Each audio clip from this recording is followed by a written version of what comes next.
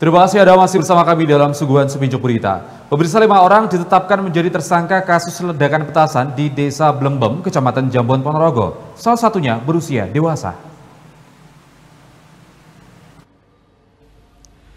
Satreskrim Polres Ponorogo menetapkan lima orang sebagai tersangka dalam kasus meledaknya petasan di salah satu rumah di Desa Blembem, Kecamatan Jambon, Ponorogo. Penetapan tersangka dilakukan setelah pihak penyidik melengkapi alat bukti terkait insiden yang terjadi. Kanit Pidum Satreskrim Polres Ponorogo, Ibtu Guling Sunaka, menyampaikan bahwa dari lima tersangka, empat di antaranya adalah anak di bawah umur. Sementara satu orang dewasa bernama Muhammad Nawawi, 21 tahun, selaku pemilik rumah yang digunakan untuk membuat petasan. Tersangka dewasa sudah dilakukan penahanan, sedangkan tersangka di bawah umur pihaknya diserahkan ke Unit Perlindungan Perempuan dan Anak atau UPPA.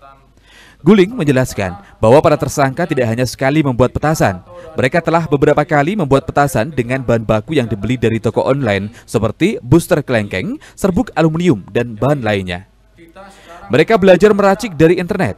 Seluruh barang bukti sudah diserahkan ke laboratorium forensik untuk kelengkapan barang bukti. Jambon ya, terkait dengan kasus Jambon dalam hal ini sama tentang meledaknya bahan petasan ya atau serbuk petasan di mana pada saat itu pihak-pihak yang terkait atau pihak-pihak yang bersangkutan dalam hal peristiwa itu sudah kita amankan dan sudah kita lakukan gelar perkara terkait dengan penetapan tersangka.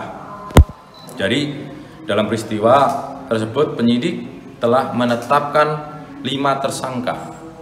Lima tersangka di mana dari kelima itu terdiri dari empat tersangka masih di bawah umur dan satu tersangka dewasa. Sudah untuk yang tersangka dewasa sudah kita lakukan penahanan. Sudah kita lakukan penahanan. Kemudian penyidik untuk memastikan terkait dengan pemenuhan alat bukti maka akan koordinasi ya, akan koordinasi dengan pihak platform Polda Jatim dalam hal dalam hal bahan-bahannya ya kandungan dari bahan-bahan yang meledak itu